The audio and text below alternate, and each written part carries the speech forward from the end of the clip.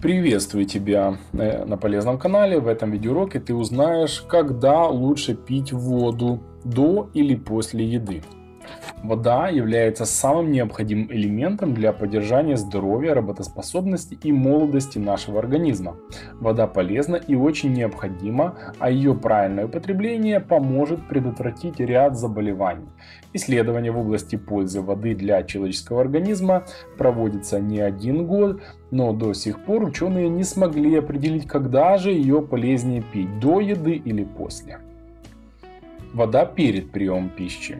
Вода перед едой помогает насытить организм и сократить количество калорий, потребляемых во время еды. Проще говоря, заполняя желудок водой, ты скушаешь меньше еды.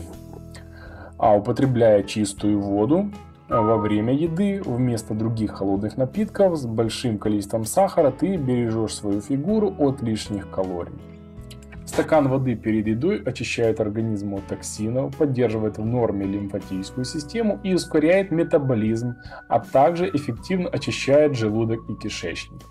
Вода насыщает организм влагой.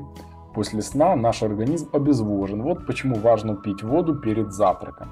А еще стакан воды перед едой поможет ускорить обмен веществ и придаст заряд энергии на весь день.